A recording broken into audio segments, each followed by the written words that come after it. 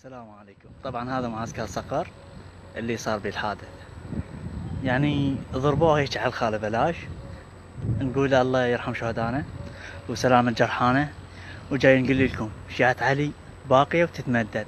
خاف لك نية ضربت. كم كدس مال عتاد والله نحمل تريلات من إيران ونجيبهن وهذا كله اللي راح كله فدوة. والدمار اللي صار فدوة. ما دام إحنا شيعة باقين ومتمددين. خوش؟